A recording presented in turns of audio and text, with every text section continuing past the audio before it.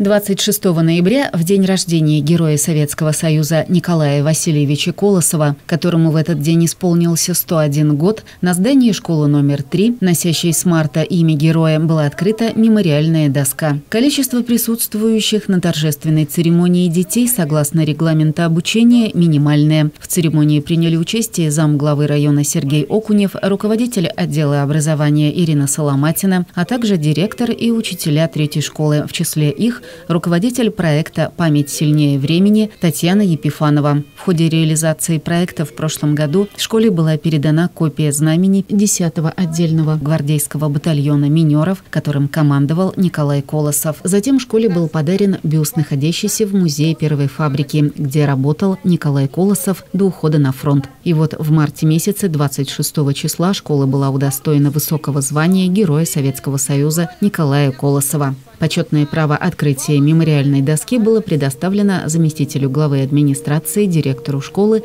и кадету Дарине Гончаровой.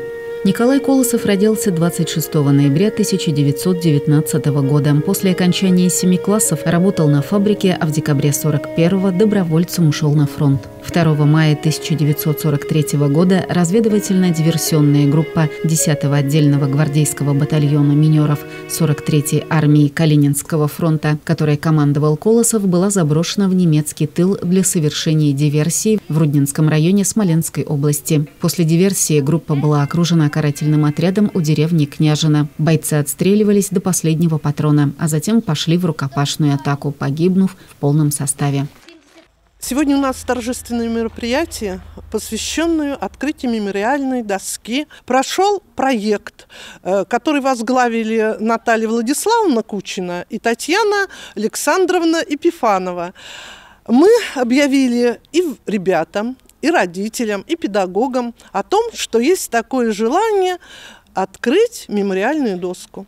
И ребята, учителя и даже родители собирали макулатуру. И на эти средства сегодня мы открыли мемориальную доску. То есть небольшое, казалось бы, дело объединило большие силы детей, учителей и родителей. Мы с честью несем звание, почетное, еще раз хочу сказать, звание Героя Советского Союза Колосова Николая Васильевича.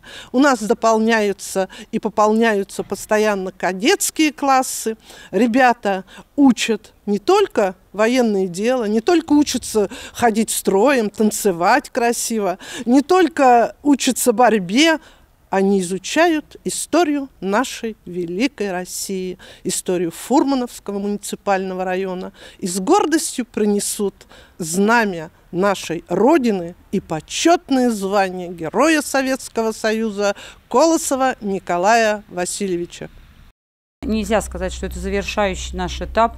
Мы, конечно, будем дальше собирать материал не только о Николае Васильевиче Колосове. О нем, конечно, к сожалению, очень мало материала. Родственников не, не осталось никого.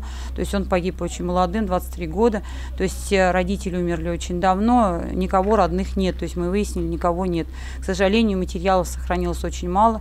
То, что Лидия Павловна Королева нам передала. Мы надеемся, что мы продолжим дальше собирать материал уже о героях э, Великой Отечественной Отечественной войны, не, ну, не только наших героев, которые есть у нас на доске памяти, да, но и а, участников Великой Отечественной войны, э, которые ушли на фронт из нашего города, и э, ну, э, память которых мы чтим, и мы были подшефны долгое время многих ветеранов, они, к сожалению, ушли от нас, то есть мы ходили к ним поздрав с поздравительными письмами. Я так думаю, что материал о них нужен тоже собрать в школе, чтобы память, э, не просто память сохранять, чтобы потомки наши, наши учащиеся, то есть дальше э, могли рассказывать, и война не ушла в прошлое, потому что ветераны уходят, а память должна оставаться. Поэтому наш проект так и называется «Память сильнее времени».